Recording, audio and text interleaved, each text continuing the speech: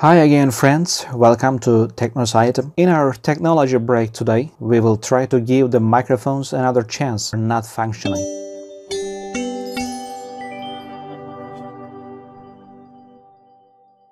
If your headset connects to your computer or laptop over USB, probably you do not have too many problems. But still keep aside this video, it's useful to watch. But if your headset jack has a 3.5mm jack input as you see on the screen, many of you, like me, may have some problems. Let's search for the solution together. Check your Windows settings first. After some Windows updates, some small touches might be required for making your programs work properly again. Under Windows Settings, Privacy menu, in Mic Preferences, microphone access may be turned off. By clicking on the Change button, the microphone will work again when we switch it to position. We can congratulate ourselves, but sometimes this may be early for this, so the problem may not be just that. But if the problem still persists like me, and many others, the source of the problem is not Windows. It is caused by the 3.5mm cable structure of the headset and microphone we have. When we plug the headset into the headphone jack of the computer, we notice that the sound is fine, the mic is not working.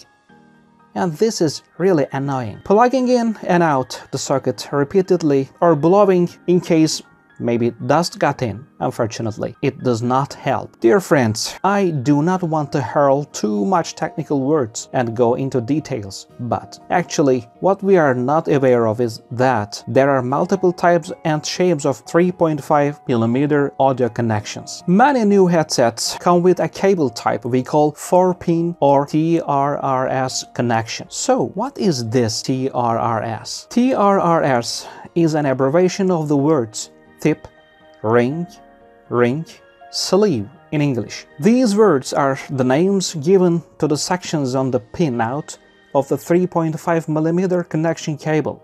If we take a closer look at the connection end, we see that it consists of four metal parts separated from each other by small plastic rings. Tip the end part, left voice channel, ring the metal part below it, right voice channel, ring that is the metal part next to it, the ground, and the sleeve, the last metal part, serves as the microphone. Naturally, a 4-pin male connector needs a TRRS input socket to work properly. This type of TRRS jack socket is available on most smartphones, tablets, and newer laptops. In this way, we make our conversations and meetings smoothly. But older laptops and most PCs have a separate headphone and mic jack socket. Even though these slots look like 4-pin sockets and even fits into the socket smoothly when you plug in the jack, these sockets have a distinct difference that prevents the microphone from working. So, what difference? There is another type of 3.5mm connection that we call 3-pin or TRS connection. Tip the end, left voice channel, the ring, the metal part below it, the right voice channel, the sleeve, the last metal part, performing as ground.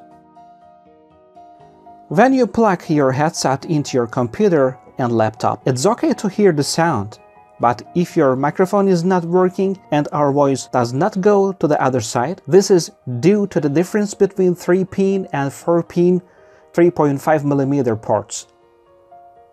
So if we plug the 4-pin headphone microphone into the 3-pin 3.5mm socket, the 3-pin female socket without microphone support will not be able to read the microphone data on the 4-pin male socket. It will be for us to say, I guess my mic is out of order. We can think of it as a key that fits into the lock slot but does not turn. Even if the key fits, the millimeter gears inside the lock do not match the ones on the key. We are trying either the right key to the wrong door or the wrong key to the right door. An extra hardware is needed to solve this problem, friends. That's the 4-pin, 3-pin splitter cable you see. In other words, splitter cable. This splitter separates your single cable 4-pin TRRS connection as microphone and headphone and makes it 3-pin compatible. We plug a single 4-pin cable to the splitter. Then the one with the headphone icon on the headphone jack. We also plug the one with the mic symbol into the microphone input on the PC or laptop. That's all. It's good to remember that Apple uses the same pin structure but uses a different method for microphone and signal control as shown in the diagram. If we ask why it does this, as I read on the internet, Apple has chosen such a way to make its Apple products compatible with their devices and incompatible with other devices.